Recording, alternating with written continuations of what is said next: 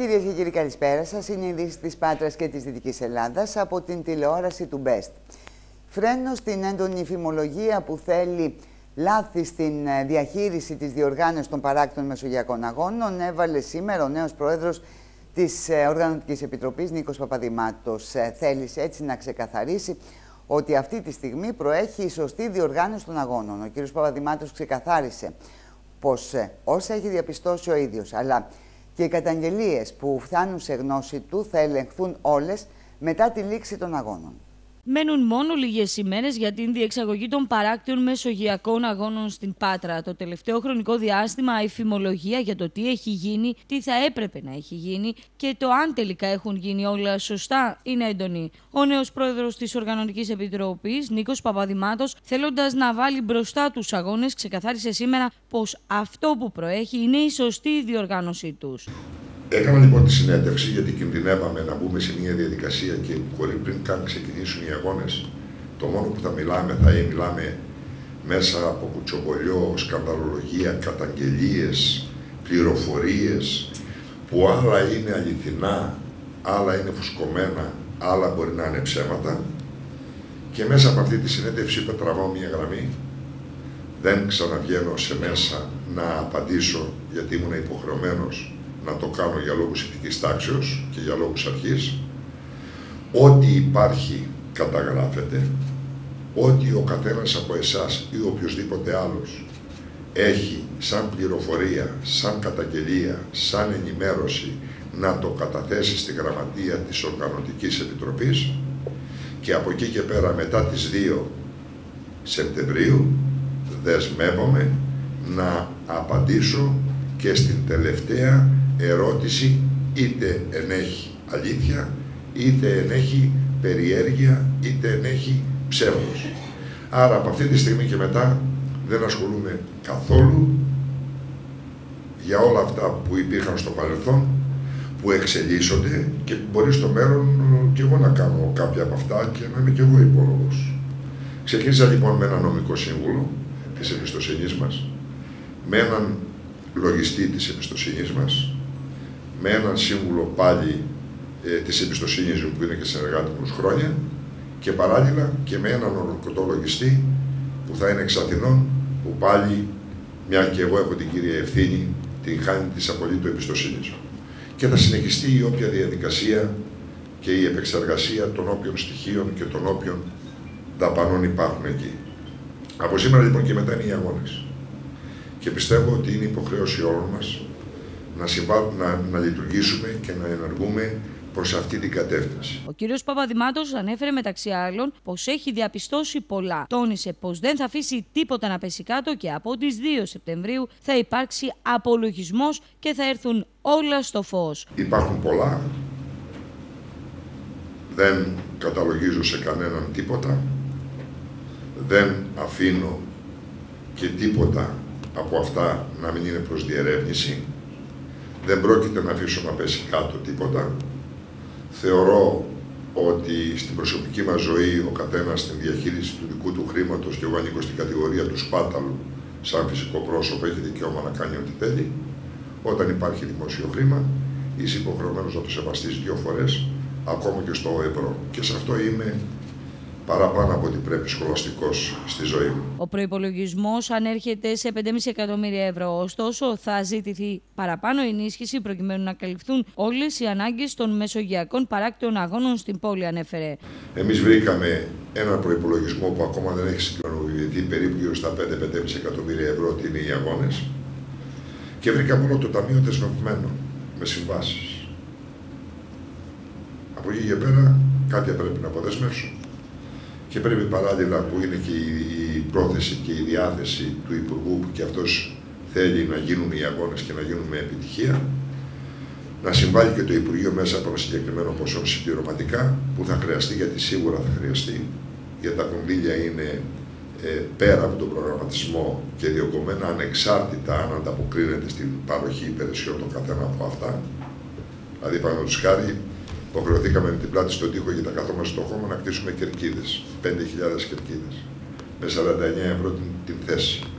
Και πηγαίνοντας κάτω, εκεί που είναι στο ΝΟΠ, και βρίσκοντας ψάχνω να βρω που φαίνεται ότι είναι ο κύριος Δανιήλ, ε, που είναι και στην ΕΜΣ.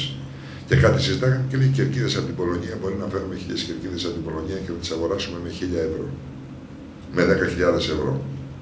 Και εμείς οι χίλιες κερκίδες πληρώνουμε νίκιο για 10 μέρες 49.000 ευρώ.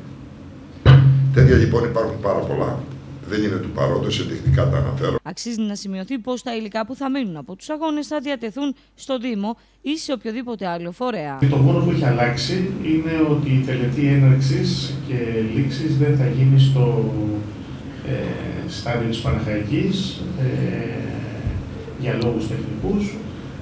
Η τελετή έναρξης και λήξης θα γίνει στην ε, κεντρική εγκατάσταση Άρτεμις που βρίσκεται ε, στο αριστερό μέτωπο ε, του ναυτικού μιλού Πατρών. Είμαστε λίγες ημέρες πριν τη διοργάνωση, όπως σας είχα πει και τότε, αυτό ισχύει και σήμερα, ότι στις ε, καταστάσεις οι οποίες είναι προσωρινές και δεν είναι μόνιμες, τα πάντα γίνονται τελευταία στιγμή, λύνονται και ξεστήνονται. Στείνονται και ξεστήνονται ε, και αυτό κάνουμε και εμείς στην παρούσα φάση. Τα προβλήματα που αντιμετωπίζουμε το τελευταίο διάστημα είναι τα προβλήματα που αντιμετωπίζουν οι μεγάλες αθλητικές διοργανώσεις που σχετίζονται με τις μεταφορές, με την uh, τοποθέτηση στα ξενοδοχεία, των αλλότιμων των ξενοδοχείων, ε, την, uh, την, τον demonstration των αθλητικών εγκαταστάσεων, τις δοκιμές. Έχουμε και ένα test event στις, στις 9 και 10 Αυγούστου, ε, το Πανελλήνιο Πρωτάθλημα Beach Handball που θα διεξαχθεί στον νόμο, όπως σας είπα προηγουμένως, που θα είναι έτοιμος, προκειμένου να τεστάρουμε τις λειτουργίες μας, να τεστάρουμε τους τομείς μας και να τεστάρουμε και τις τεχνολογίες μας. Η συνέχεια λοιπόν για τα τραγικά λάθη στην διοργάνωση μετά το τέλος των παράκτων μεσογειακών αγώνων και πάμε τώρα να αλλάξουμε θέμα. Καθημερινά νέοι τρόποι εξαπάτησης έρχονται στο προσκήνιο. Ο άγνωστος προσποιούμενος των γιατρών κατάφερε και απέσπασε 2.000 ευρώ από γυναίκα στο Αίγιο. Με ποιο τρόπο πάμε στην ε, συνάδελφο Κωνσταντίνα Παλαιολόγου, έχει το ρεπορτάζ. Καλησπέρα, Κωνσταντίνα. Καλησπέρα, Έφη. Το θύμα, η γυναίκα από το Αίγιο, δέχθηκε ένα τηλέφωνο από έναν άντρα, ο οποίος της είπε ότι είναι γιατρός σε νοσηλευτικό ίδρυμα σε νησί των Δωδεκανήσων. Ε, της είπε ότι θέλει χρήματα προκειμένου να χειρουργήσει την αδερφή της. σω υπήρχε κάποιο πρόβλημα υγεία στην αδερφή της, οπότε ήταν πιο ευαισθητοποιημένη. Η γυναίκα πίστηκε να του δώσει 2.000 ευρώ που τη ζήτησε. Έγινε η συμφωνία και τελικά στο σπίτι της έφτασε μια γυναίκα, άγνωστη και αυτή προς το θύμα, η οποία πήρε τα χρήματα και εξαφανίστηκε. Και μάλιστα για να γίνει και πιο πιστικό το όλο σκηνικό, την ε, μίλησε και με μια γυναίκα που προσποιήθηκε την ε, αδελφή της και δεν κατάλαβε. Ήταν ένα ολοκληρωμένο σχέδιο από ό,τι φαίνεται έφη, γιατί μπορεί η αστυνομία να μας ενημερώνει να μην πιστεύουμε όλα αυτά που μας λένε στο τηλέφωνο. Ωστόσο, οι δράστες βρίσκουν διά, ε, διάφορους τρόπους και ελίσσονται.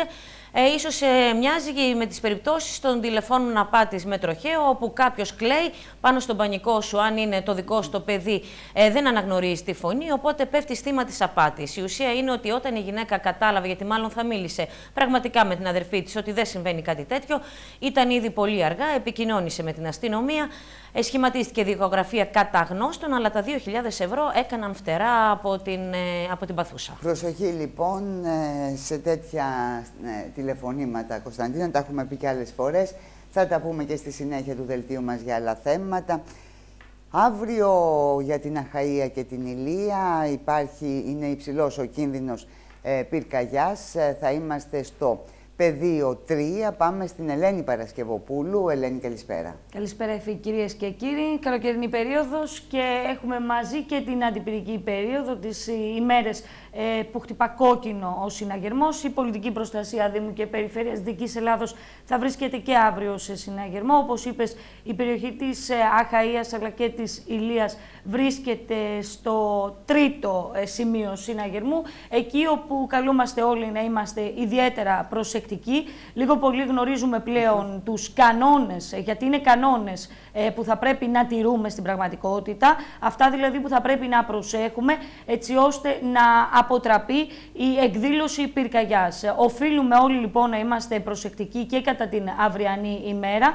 Ε, φυσικά απαγορεύονται οι εργασίες στην Ήπεθρο που μπορεί να προκαλέσουν σοβαρά προβλήματα και μιλάμε φυσικά για την εκδήλωση μιας ε, πυρκαγιάς.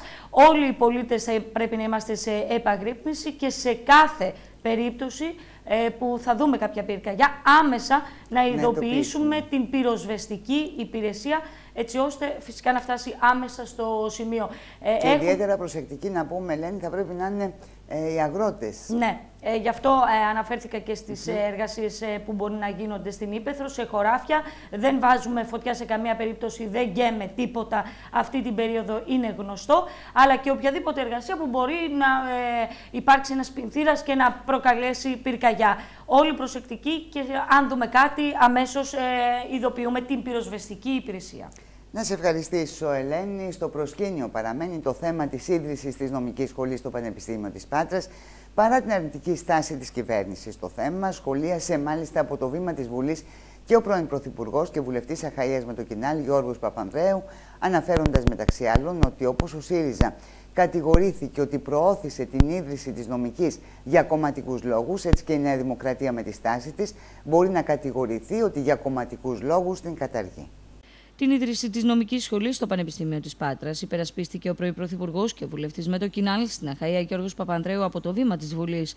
Σχολιάζοντας την ρύθμιση για την νομική σχολή της Πάτρας, ο κ. Παπανδρέου τόνισε ότι θα πρέπει αντί να κατατίθενται αποσπασματικά νομοσχέδια να εξεταστεί σε βάθος μια ριζική αλλαγή στον χώρο των ΑΕ και ΤΕΗ. Σε σχέση με την νομική σχολή της Πάτρας, ο Γιώργος Παπανδρέου ανέφερε. Είμαι υπέρ του να υπάρξει νομική σχολή στην Πάτρα. Αλλά αν κατηγορείτε τον ΣΥΡΙΖΑ ότι για κομματικούς λόγους ίδρυσε αυτή τη νομική σχολή, μπορεί και η Νέα Δημοκρατία να κατηγορηθεί ότι για κομματικούς λόγους την καταργεί. Λοιπόν, όπως είπαμε και χθες κυρίες και κύριοι, αύριο το θέμα της ε, νομικής, της ίδρυσης της νομικής έρχεται προς συζήτηση στο Περιφερειακό ε, Συμβούλιο μαζί με το άλλο σοβαρό θέμα της ε, Πατρών Πύργου. Πάμε στο στούντιο 2 της τηλεόρασης του Μπέστ. Είναι μαζί μας σήμερα ο κύριος Γιώργος Αγγελόπουλος, πρόεδρος του Περιφερειακού Συμβουλίου. Καλησπέρα σας, κύριε Αγγελόπουλο. Καλησπέρα, καλησπέρα. Λοιπόν, να ξεκινήσουμε με την νομική σχολή. Τόσα έχουν υποθεί και έχουν γραφεί για την ε, ίδρυση και λειτουργία της ε, σχολής στο Πανεπιστήμιο της Πάτρας. Φαίνεται όμως ότι η κυβέρνηση, το Υπουργείο, η νέα Υπουργός ε, έχει άλλα σχέδια, το έχει ξεκαθαρίσει ε, και δεν ξέρω αν το, έχει, το εκλαμβάνετε κι εσείς έτσι, το έχει ξεκαθαρίσει ότι η νομική σχολή δεν πρόκειται να λειτουργήσει στην Πάτρα, να ιδρυθεί στην Πάτρα. Κυρία Κανόνια, κοιτάξτε, στη χώρα που ζούμε μερικές φορές ευνηδιάζεσαι από τις συμπεριφορές των ε, πολιτικών προσώπων.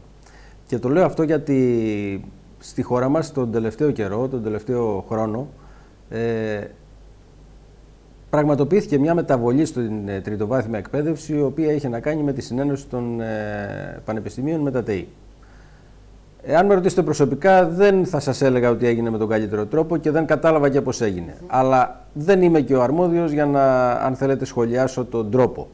Παρά τα αυτά όμως είχαμε ένα νόμο όπου συνένωσε τα πανεπιστήμια με τα, με τα ΤΕΗ και βεβαίως δημιούργησε, συγχώνευσε κάποιες σχολές μεταξύ τους και δημιούργησε κάποιες νέες. Μέσα σε αυτές τις νέες ε, που δημιουργήθηκαν στην ε, περιφέρεια Δυτικής Ελλάδας, στο Πανεπιστήμιο Πατρών στη, στην ε, προκειμένη περίπτωση, ε, ιδρύθηκε και η νομική σχολή των πατρών με νόμο, με βάση και την διεκδίκηση των δεκαετιών που υπήρχε στο παρελθόν. Ε, πρόκειψαν εθνικές εκλογές, η νέα Υπουργός Παιδείας τη μέρα που ανακοινώθηκε και κυριολεκτός αυτό, τη μέρα που ανακοινώθηκε δεν πρόλαβε να πάει στο Υπουργείο, δηλαδή δεν κάθισε στην καρέκλα που λέμε, ε, έκανε τη δήλωση ότι καταργείται η νομική σχολή της Πάτρας. Ε, νομίζω ότι δεν χρειάζεται να πω περισσότερα. Πάντως πρέπει να πούμε Αντιλαμβάνεστε ότι, ότι η Νέα Δημοκρατία προεκλογικά όταν ε, άρχισε να συζητείτε το θέμα της ίδρυσης της νομικής σχολής είχε αντίθετη άποψη. Να συμφωνήσω, να, μαζί, να συμφωνήσω μαζί σας, αλλά να σας θυμίσω ότι και αντίθετη άποψη είχε με την ίδρυση γραφείου Πρωθυπουργού στη Θεσσαλονίκη. Θα το θυμάστε κι εσείς. Το έλεγε παροδία, έλεγε ότι τέλος πάντων, ε, αν και δεν θέλω να μπω τώρα σε μια λογική αυτής της, ε, αν θέλετε, του ζυγίσματος, αλλά και για το γραφείο του Πρωθυπουργού στη Θεσσαλονίκη έλεγε ότι είναι απαράδεκτο. Αλλά σήμερα το ε, όρισε και υπεύθυνο. Σήμερα που μιλάμε. Λοιπόν, να έρθουμε δεν έχει νόημα όμως αυτό. Το λέω δηλαδή με την έννοια ότι ξέρετε, ε, έχουμε μάθει στη χώρα τα κόμματα προεκλογικά να υπόσχονται. Μόνο εμείς ως Περιφερειακή Παράταξη στις εκλογές τη αυτοδιοικητικές δεν αποδεχθήκαμε αυτό το ρόλο Και βεβαίως δεν είπαμε κάτι παραπάνω από αυτό που πραγματικά ε, έχει δημιουργηθεί ή έχει δρομολογηθεί. Δεν έχει σημασία όμως. Ε, Από ό,τι φαίνεται η κοινωνία θέλει να ακούει απλά θα. Ε, σε ποια βάση θα συζητηθεί το θέμα από τον κύριε Αγγελόπουλο. Θα σας εξηγήσω. Ε, το θέμα συζητήθηκε στην τελευταία συνεδρίαση του Περιφερειακού Συμβουλίου, όπως γνωρίζετε, ε, όπου είχε τεθεί ως, ε, ε, ως ένα από τα θέματα για συζήτηση και σε, στο, τελευταίο, στο προηγούμενο Περιφερειακό Συμβούλιο η απόφαση που το Σώμα πήρε ήταν να ασκηθεί κάποια πίεση, να διαμορφωθεί, να, να ζητηθεί ένα ραντεβού στην Αθήνα με την Υπουργό ή τον Πρωθυπουργό, με τους φορείς της Πάτρας. Δεν έγινε όμως. Γιατί δεν ραντεβού. ήταν μόνο το Περιφερειακό Συμβούλιο που συνεδρίασε για αυτό το θέμα, αλλά και ο Δικηγορικός Σύλλογος και πολλοί άλλοι και το συλλογικοί φορείς. ζητά την. Ε, αυτό λοιπόν δεν πραγματοποιήθηκε. Mm.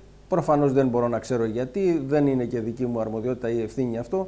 Ε, Όπως και να έχει, δεν έγινε. Ε, εμένα λοιπόν ε, μάλλον έλεγα ότι το Περιφερειακό Συμβούλιο πήρε μια απόφαση να γίνει το ραντεβού αυτό και να χρηματοδοτήσει η Περιφερεια Δυτικής Ελλάδος την ανάγκη κτηριακών εγκαταστάσεων που αφορά τις νέες σχολές που ιδρύονται στην περιοχή μας. Μία, και, μία από αυτές ήταν και η νομική. Στη συνέχεια εμένα μου ήρθε την προηγούμενη εβδομάδα εισήγηση από τον αρμόδιο ε, αντιπεριφερειάρχη για την ε, κατασκευή, για να τεθεί θέμα στο Περιφερειακό Συμβούλιο να ζητηθεί η χρηματοδότηση από το πρόγραμμα δημοσίων επενδύσεων για την νομική σχολή πατρών, όπου και είχε κατατεθεί και το τεχνικό δελτίο από την τεχνική υπηρεσία του, του Πανεπιστημίου μας. Εγώ βεβαίως είχα υποχρέωση, όπως έχω υποχρέωση σε κάθε θέμα που έρχεται από τους συζήτητε, να το εισάγω σε ημερήσια διάταξη. Ε, Όπως ξέρετε, η ημερήσια διάταξη βγαίνει πέντε ημερολογιακές ημέρες πριν από τη συνεδρίαση. Έχει προηγηθεί δηλαδή από την προηγούμενη εβδομάδα. Δεν μπορούσαμε να ξέρουμε τις εξελίξεις. Ε, διαβάζω σήμερα ότι συζητείται στη Βουλή, δεν γνωρίζω το τελικό αποτέλεσμα. Άρα λοιπόν το Σώμα έχει, το Περιφερειακό Συμβούλιο εννοώ, έχει κάθε λόγο αύριο να αποφασίσει είτε θετικά είτε αρνητικά. Αν αποφασίσει θετικά βέβαια το θα Περιφερειακό Συμβούλιο. Ε, γιατί οι πληροφορίες λένε ότι θα ζητηθεί η χρηματοδότηση για την ε, ε δημιουργία του κτηρίου που επρόκειτο να στεγαστεί η νομική σχολή. Και με ποια λογική αυτό από τη στιγμή που θα έχουμε μια σχολή που δεν θα λειτουργεί; Σας έλεγα και προηγουμένως ότι η απόφαση του Περιφερειακού Συμβουλίου πριν από 15 μέρες ήταν να χρηματοδοτηθούν τα κτηριακά που θα απαιτηθούν για, τη, για τις σχολές που έχουν δημιουργηθεί ως νέες. Το Πανεπιστήμιο μας έστειλε το τεχνικό δελτίο έτοιμο, η υπηρεσία μας ήταν έτοιμη, ο αρμόδιος αντιπεριφερειάρχης μου έστειλε το θέμα ναι. να μπει στην ημερήσια διάταξη. Ε, δεν είχα ε, αρμοδιότητα εγώ να μην το εισάγω. Και ξαναλέω ότι η ημερήσια διάταξη βγαίνει πέντε ημερολογικές μέρες πριν από την συνεδρίαση. Δηλαδή Άρα, έχει λοιπόν, βγει από την λοιπόν, προηγούμενη ναι, εβδομάδα. Θα, ε, η, η, συζήτηση θα εξελιχθεί και θα μπει στην ε, βάση ε, των ε, σημερινών εξελίξεων, λέτε. Υποθέτω, αλλά δεν γνωρίζω πότε θα ψηφιστεί. Δεν, δεν ξέρω αν θα ψηφιστεί στη Βουλή το νομοσχέδιο το... αύριο ή μεθαύριο. Οπότε, αν δεν έχει ψηφιστεί μέχρι αύριο, εμείς δεν έχουμε κάποιο λόγο να μην προχωρήσουμε στην απόφαση αυτή που έχει εισαχθεί. Ε, και στο άλλο μεγάλο θέμα τώρα, πατρών πύργου, αγκάθι για την ε, περιοχή, ε, αγκάθι που ε, αρκετοί λένε και υποστηρίζουν ότι ήταν αυτό που ε, τελικά δεν σας έδωσε και πάλι την περιφέρεια, κύριε Αγγελόπουλε. Ξέρετε, κύριε Καρούνια, θα επιθυμούσα, εάν έχετε την διάθεση και την καλοσύνη, ε, και μέχρι στιγμής έχει αποδειχθεί ότι την έχετε σε όλα αυτά τα χρόνια. Να συζητήσουμε αυτό το θέμα, αν θέλετε, σε μία εκπομπή, δηλαδή γιατί δεν ε, είχαμε θετικό αποτέλεσμα. Σίγουρα ε, δεν, βεβαίως, δεν μπορεί αυτό το θέμα σωστά, να σωστά. συζητηθεί μέσα σε δύο-τρία λεπτά. Ακριβώς. Ε, σίγουρα υπάρχει μία χρέωση στην ε, Περιφερειακή Αρχή που απέρχεται, σε εμάς δηλαδή, ε, για την μη ολοκλήρωση του οδικού άξονα από την Πάτρα μέχρι το Καλό Νερό, μέχρι την Τζακώνα. Ε, το ζήτημα δεν είναι αυτό όμως τώρα γιατί δεν έχει καμία σημασία αν χρέωσαν σε εμάς κάτι το οποίο δεν ήταν αρμοδιότητά μας.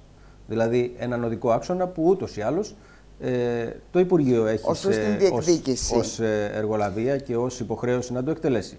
Ε, ως προς τη διεκδίκηση νομίζω ότι μάλλον, ε, ξέρετε, μερικές φορές ε, έχουμε θεωρηθεί από την κοινωνία ότι είμαστε υπερβολικά διεκδικητές ε, και κάποιες φορές ότι δεν είμαστε και τόσο. Τέλος πάντων δεν ξέρω, η, η κοινωνία αποφάσισε, άρα δεν μπαίνει δεν το ζήτημα ε, τώρα αυτό, τώρα. Αυτό που έχει σημασία είναι ότι η νέα κυβέρνηση μας ευνηδίασε με μια αρνητική είδηση ακόμη για την περιφέρεια Δυτικής Ελλάδος, δηλαδή με τον αρμόδιο Υπουργό να δηλώνει ότι το συγκεκριμένο έργο ε, δεν μπορεί να εκτελεστεί έτσι όπως έχει διαμορφωθεί και ότι θα πάμε σε νέα επαναδημοπράτηση με δεν ξέρω με ποιες προϋποθέσεις και με ποιες ε, έτσι αν θέλετε αιτιολογήσεις. Το, θέμα, το ζήτημα είναι όμως ε, κύριε Καρούνια ότι υπάρχει ενταγμένο έργο αυτή τη στιγμή έστω με αυτές τις 8 εργολαβίες που Κατ' επανάληψη και ως περιφέρεια έχουμε πει ότι και αυτή ήταν μια λάθος προσέγγιση, αν θέλετε, αλλά δεν έχει σημασία τώρα αυτό και πάλι. Ε, να ενταχθεί λοιπόν, είναι ένα έργο, έλεγα, ενταγμένο στο κοινοτικό πλαίσιο που τρέχει. Το κοινοτικό πλαίσιο που τρέχει, ε, ξέρουμε όλοι ότι έως το 2023 πρέπει να έχουν πληρωθεί όλες του, οι, όλα τα έργα που έχουν ε, κατασκευαστεί. Εκτιμώ ότι είναι αδύνατος ο χρόνος να, που είναι αναγκαίος για να επαναδημοπρατηθεί από την αρχή αν υπολογίσει κανένας τις ενστάσεις και όλα αυτά που κατά καιρούς έχουμε στη χώρα σε διάφορα τεχνικά έργα.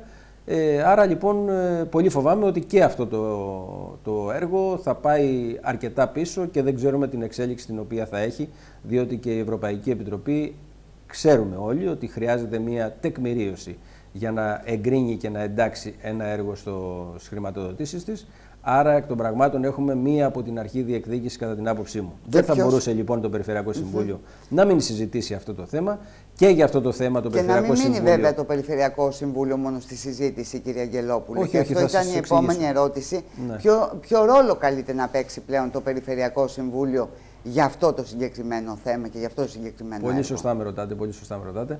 Ε, σας έλεγα λοιπόν ότι ξεκίνησα να σας λέω ότι το Περιφερειακό Συμβούλιο είχε συγκροτήσει μια θεματική επιτροπή έτσι όπως υπάρχει η δυνατότητα από τον νόμο ο οποίος πέρασε το Νοέμβριο του 2018 στη Βουλή ο πρόεδρος του Περιφερειακού Συμβουλίου για θέματα τα οποία είναι μείζωνα για την περιοχή του να συγκροτεί μια ε, επιτροπή θεματική από τους ε, συναρμόδιους φορείς ούτως ώστε να παρακολουθούνται αυτά τα ζητήματα. Έτσι και εμείς λοιπόν ε, συγκροτήσαμε τον ε, Νοέμβριο του 2018, αν θυμάμαι καλά, την ε, Επιτροπή η οποία έχει ασχοληθεί με το έργο του Πάτρα Πύργος, ε, Πύργος Καλό Νερό, Καλό Νερό Τσακώνα.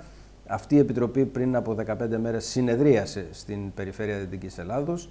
Ε, πήρε μια απόφαση να ζητήσει ένα ραντεβού και αυτή τον αρμόδιο Υπουργό, ε, δεν έχει γίνει κάτι μέχρι στιγμής. Ε, μου έστειλε εισήγηση ο αρμόδιος, ο πρόεδρος της Επιτροπής, ο συνάδελφος ο Δημήτρης ο όπου προεδρεύει στην Επιτροπή αυτή.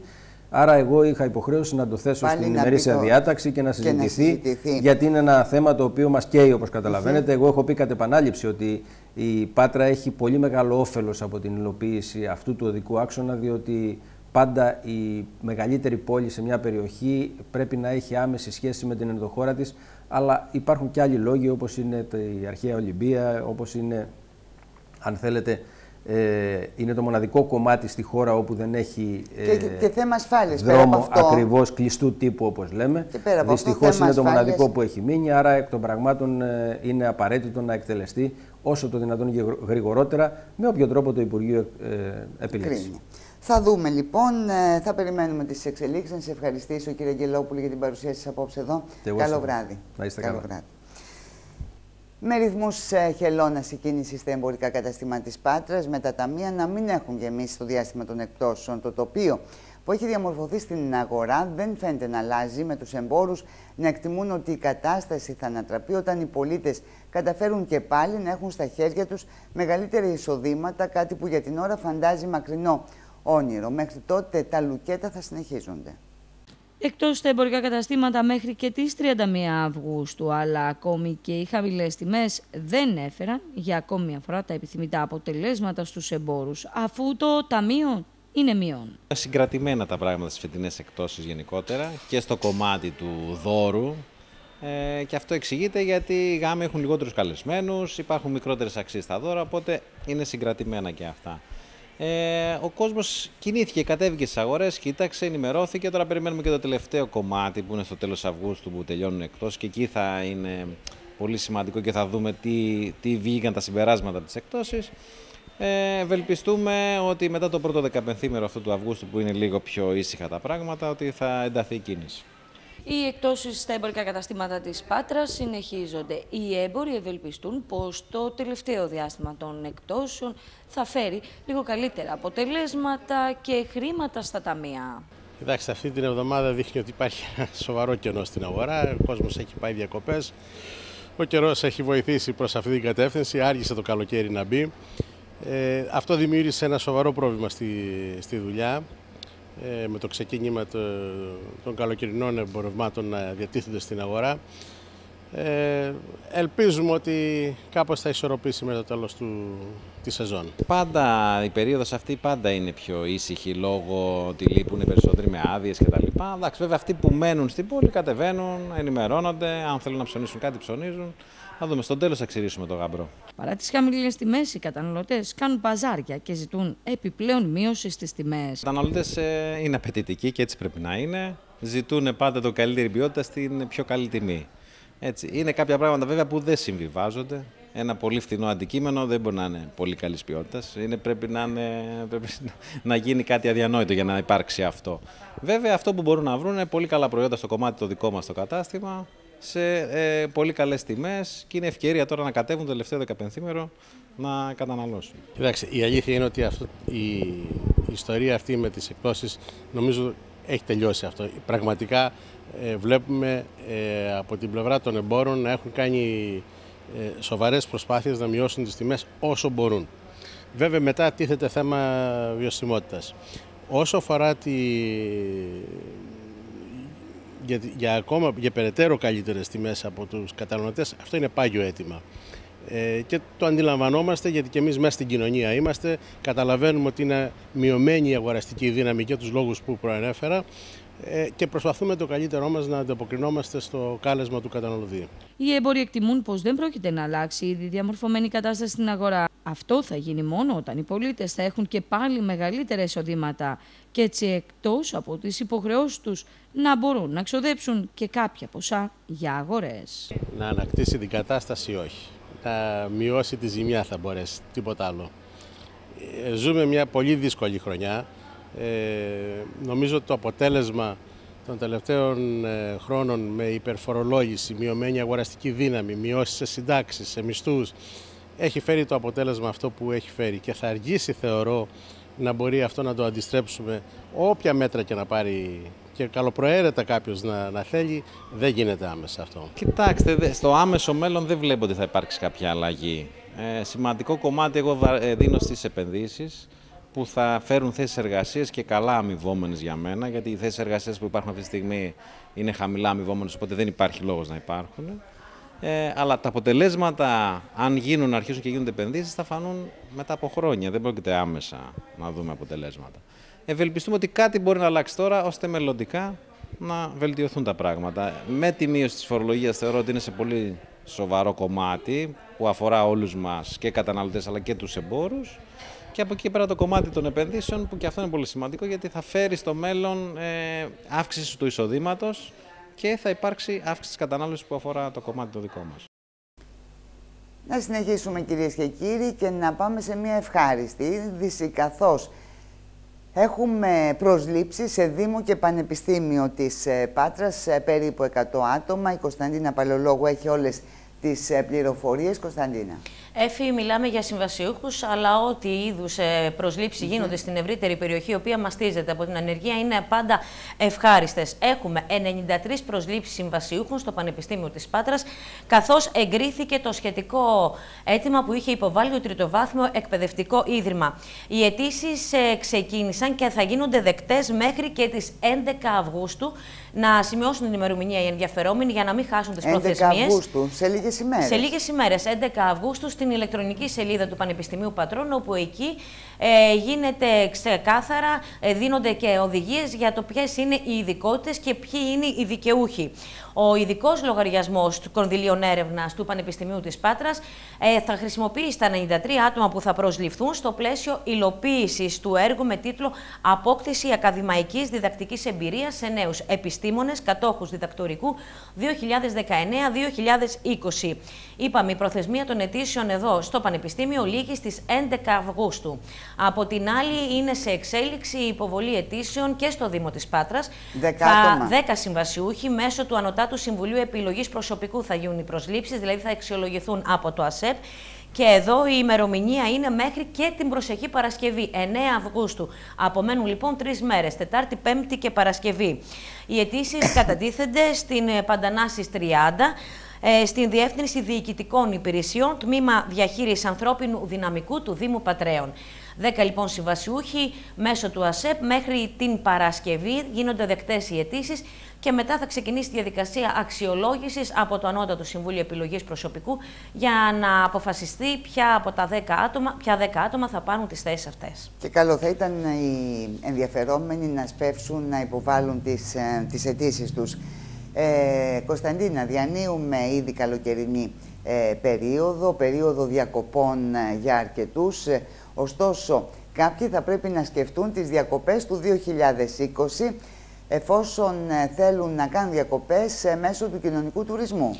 Έφη, από ό,τι φαίνεται, τρέχουν πιο γρήγορα mm -hmm. φέτος οι διαδικασίες, γιατί μην ξεχνάμε ότι μόλις πριν από μερικές ημέρες, στις 29 Ιουλίου του 2019, ανακοινώθηκαν τα τελικά αποτελέσματα των δικαιούχων, αυτών λοιπόν που έλαβαν επιταγές για τον κοινωνικό τουρισμό τον φετινό. Ε, πολλοί βέβαια από ό,τι μας λένε δεν ε, βρήκαν καταλήματα για τις ημέρες του Αυγούστου καθώς πήραν τις επιταγές στην εκπνοή της προθεσμίας και τα περισσότερα δωμάτια είχαν κλειστεί. Ωστόσο, από τον ΟΑΕΔ γίνεται γνωστό ότι ξεκινούν ε, στις 10 ε, του μηνός οι αιτήσεις αρχικά με τους ιδιοκτήτες τουριστικών καταλήμματων να εκδηλώσουν ενδιαφέρον να ενταχθούν στο πρόγραμμα. Θα γίνει η αξιολόγησή τους και άμεσα θα ανακοινωθούν και η έναρξη των αιτήσεων για τους δικαιούχους των επιταγών. Η ηλεκτρονική πλατφόρμα του ΟΑΕΔ, γιατί εκεί θα κατατεθούν οι αιτήσεις στο www.oaed.gr, θα είναι ανοιχτή μέχρι και τις 30 Ιουνίου του 2020, ε, ώστε να προλάβουν όλες τις διαδικασίες. Ελπίζουμε μόνο το, την επόμενη χρονιά πολύ νωρίτερα οι ναι, δικαιούχοι να έχουν ανακοινωθεί ώστε να μπορούν να προγραμματίσουν. Θυμούμαστε παλαιότερα έτη, Μάρτιο, το αργότερο Απρίλιο είχαν ανακοινωθεί οι δικαιούχοι, οπότε και τα καταλήμματα γνώριζαν εγκαίρως ε, τι γίνεται με την κίνησή τους, αλλά και οι, οι αδιούχοι του καλοκαιριού ήξεραν από νωρίς που θέλουν να κλείσουν και έβρισκαν τα αντίστοιχα καταλήμματα. Φέτος πραγματικά είχαμε προβλήματα. Σε ε, αυτό είχαμε το, και έχουμε πολλούς που αναγκαστικά θα, θα αλλάξουν τις άδειέ τους, να πάνε από φθινόπωρο ή μέχρι το χειμώνα, γιατί αλλιώς θα χάσουν τις επιταγές τους. Να σε ευχαριστήσω, Κωνσταντίνα, και να ε, πάμε σε ένα θέμα που το καλοκαίρι μας ε, απασχολεί κυρίες και κύριοι. Δεν έχουν τέλος οι τραγωδίες με συνανθρώπους μας που αφήνουν την τελευταία τους πνοή μέσα στις ελληνικές θάλασσες. Δύο άνδρες κατέληξαν μέσα σε 24 ώρες ε, στην θάλασσα και συγκεκριμένα στην ε, Σκαφιδιά Ηλίας και στα Νικολέη Καχαΐας. Σήμερα το πρωί ένας ακόμη άνδρας άφησε την τελευταία του πνοή στην Κουρούτα την ώρα που έβγαινε από την θάλασσα. Υπάρχουν όμως απλοί κανόνες οι οποίοι μπορούν να μας σώσουν την ε, ζωή με τους ναυαγοσώστες να τονίζουν πως κατά τη διάρκεια του μπάνιου μας θα πρέπει να τηρούμε ευλαβικά τους συγκεκριμένους κανόνες.